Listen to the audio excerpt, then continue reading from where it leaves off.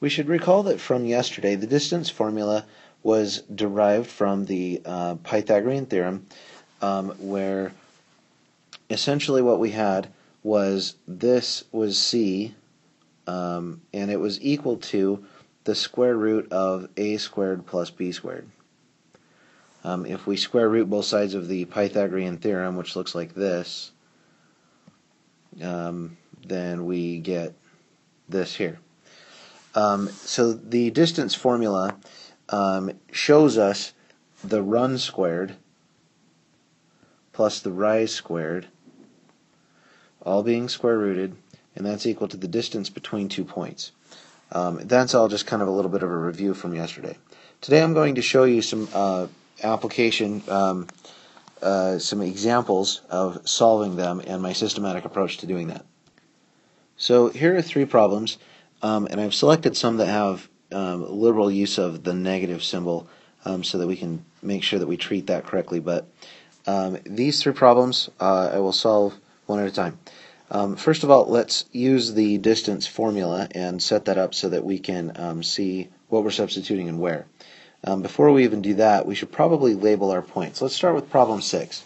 In problem 6, uh, we've got two ordered pairs um, and so I'm going to label the x and y coordinates of each and subscript those as 1s and 2s.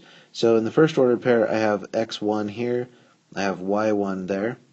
So that's the x and y pair and they're both from the first ordered pair so they have subscripts of 1s. Um, the second ordered pair is going to be x2 and y2. Um, and so those are the subscripts for those because um, they come from the second um, ordered pair. Now the distance formula, which looks like this, needs to have those values substituted in place of the x1, y1, uh, x2, y2 um, need to be put in the correct positions. So sometimes it's useful just to copy this down next. Um, so label was first, and then copy the, the distance formula down a second. Then do what I call write down the skeleton. And the skeleton is um, all of the bits and pieces like the square root symbol and the square sign and the subtract and the parentheses and all of those um, without the x2, y2s, all of those numbers being in place, um, so that there's space for you to plug in the numbers where they go, like this. So what I have here is the distance formula with all of the x2, uh, x1, y2, y1 all missing so that I can substitute the numbers from the problem in those spots. The reason that this is important is because those minus signs from the formula need to be there so that when I do the substitution, I might see minus signs back to back, reminding me that it's supposed to be add the positive instead of subtract the negative. That's just going to make it easier and help me mess up less. So, noticing uh, that right here I've got my x2, so I need to come up here and find my x2, which is negative 2, and I substitute that in place of where x2 goes. Uh, the next number should be um, x1, uh, so here's x1, it's going to go in this spot x1 is 1, that goes there. Uh, my next number that I'm going to use is uh, the y2. I come up here and look for y2, that's the 4, so that goes here. Um, and then the last number that I'm going to use is the y1. y1 is here, that's the negative 6, so that gets substituted here. Again, notice that I just put a minus sign in right next to the other minus sign. The first minus sign that was already there was from the formula. The one I just substituted in was from substituting the y1 value. Uh, now I need to simplify this using the order of operations. So there are groups here. In fact, there are three groups. One of them is the entire radicand, everything underneath the square root symbol. The other two groups are the rise and the run that are being squared, so the stuff within the parentheses. Um, so I need to simplify all of this. d is equal to the square root of, and I'm going to just put a long square root symbol there because I've got a lot of work that goes underneath here. Negative 2 minus 1 is negative 3. I'm going to put parentheses around that to keep track of this so that if I do ever uh, square this with my calculator or something, uh, my calculator will know that that negative is part of the base that's being squared. So the negative symbol should also be squared so that I should end up with a positive answer when I square that.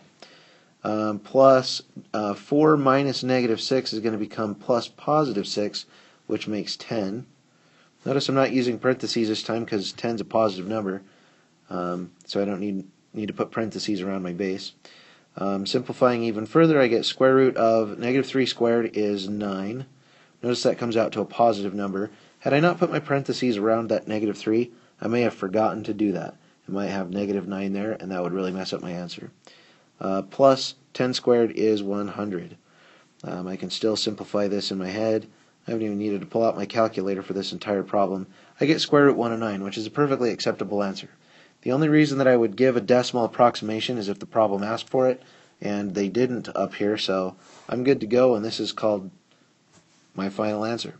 Let's go ahead and look at number 7. Again, in number 7, I want to label my um, x's and y's. So this is x1, this is y1, that's x2, and this is y2. Um, I've already got my distance formula copied down and the skeleton in place, um, so now I'm going to substitute values. So x1, uh, sorry, it shouldn't start with x1, it should start with x2. It comes from over here, that's a 4, substituting. Uh, x1 is here, that comes from, uh, let me color coordinate this. x1 comes uh, from there, that's the 8, so that's going to go in this spot. Um, so there's the 8. Um, y2 comes from here, that's the negative 3.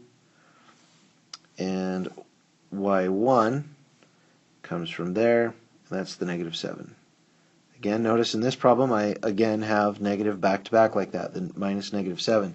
That's going to become plus positive 7 in just a moment when I simplify. So now I'm going to simplify uh, square root of, giving myself a long square root symbol because there's a lot of work underneath there. 4 minus 8 is negative 4.